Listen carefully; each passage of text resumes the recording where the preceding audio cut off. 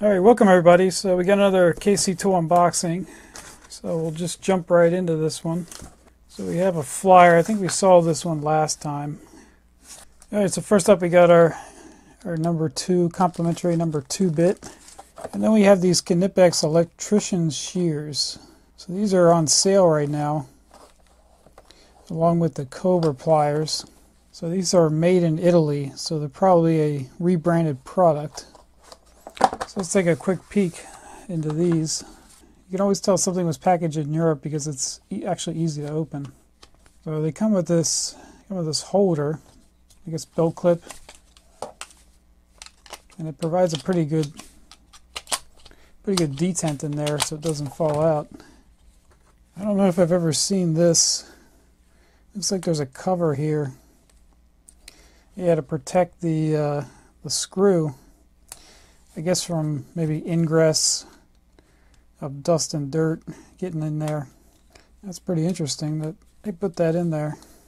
So yeah, these are electrician shears are mainly for for cutting and stripping wire. I mean, you can you can use this as a cable cutter, and obviously you can use the uh, the blades to cut some like really thin thin material or tape is I think the most common use for for this front part. But you can also act, you can also use these as a wire stripper.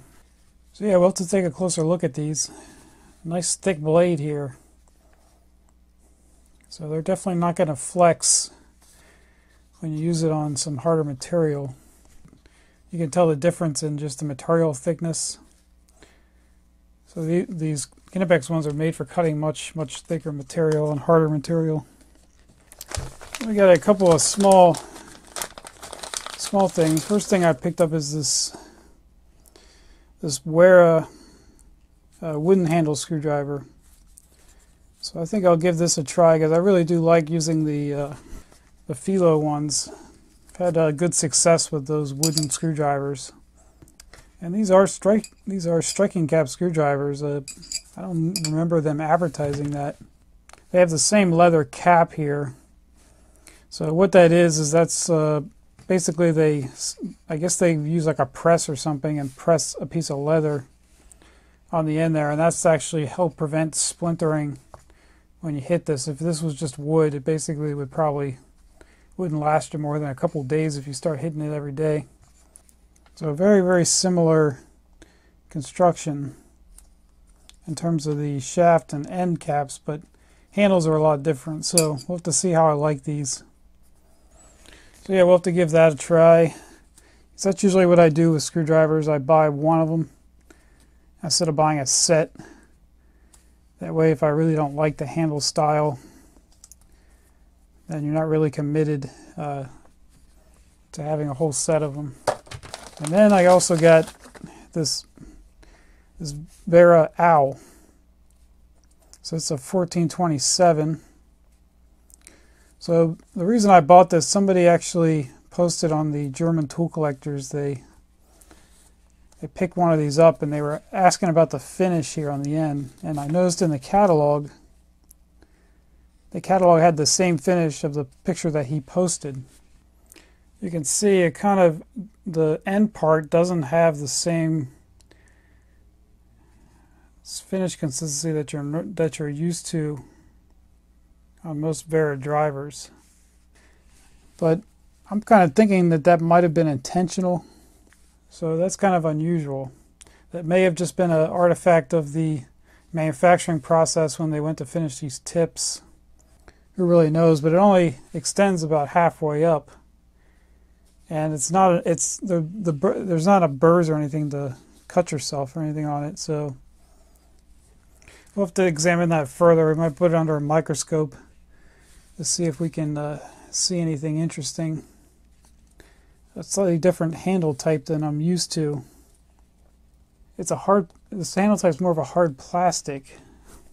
It's more like the consistency of these Felo red drivers. But it feels it feels harder than the the black that's on their normal Wera drivers. One thing they just announced is that they're going to be carrying uh, NWS products now.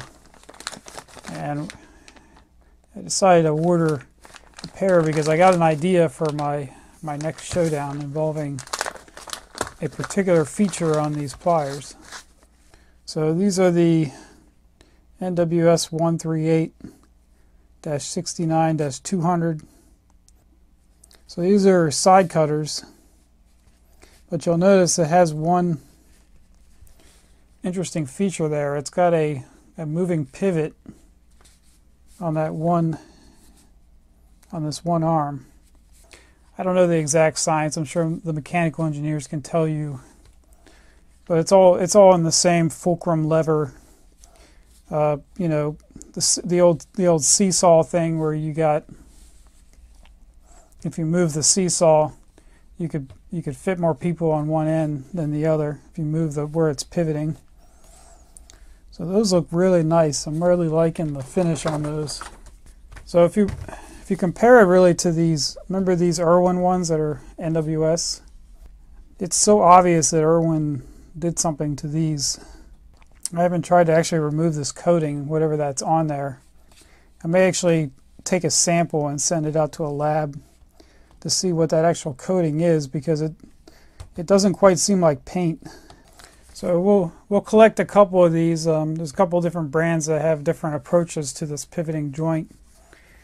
They all have a different solution.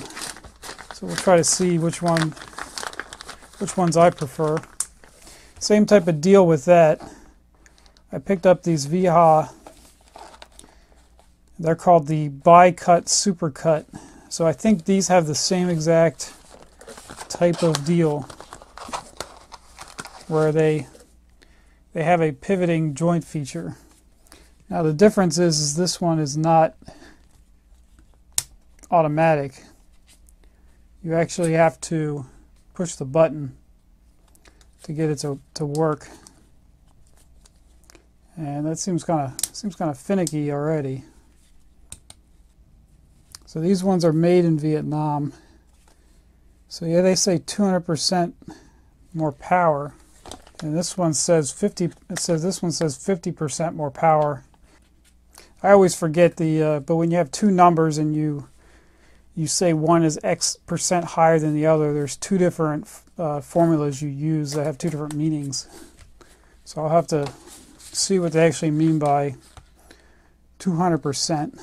But yeah, they got the same cutting capacity as the NWS. So this one says 40% less force but it says 200% power on here. Something's not quite adding up there. I'll have to do some research on that. But those look like they uh, they might come in handy, so I'll take a look at those. So there's one more that I know about, the Knipex, I think they call it the Twin Force. So the Twin Force ones are by far the most expensive of these. These these ones were, I think, both of these were probably under $40. The Twin Force one, I think, is like $80. So there must be something in the Twin Force that makes it a lot more expensive. So we'll take a look at that. Alrighty, so we got one final thing. So this is another Knipex product. These are uh, what they call sheet metal nibblers. So we got 90, 55, 280. And this one also says made in France. So it's probably a rebranded product, but I don't know. I don't know uh, where this would come from. So I got a project that I'm going to try using these on. I actually need to cut a new cover plate for a motor. And there's some notches that you got to cut out in it. It. And I think it would be easy to do with this. So it's not gonna. It's not this one. This is a uh, just an extra one I have lying around. So it says you can uh, use this on up to 1.2 millimeter steel. So we'll give it a try on this. This I measure this is one millimeter. So all you should have to do is just get it flat.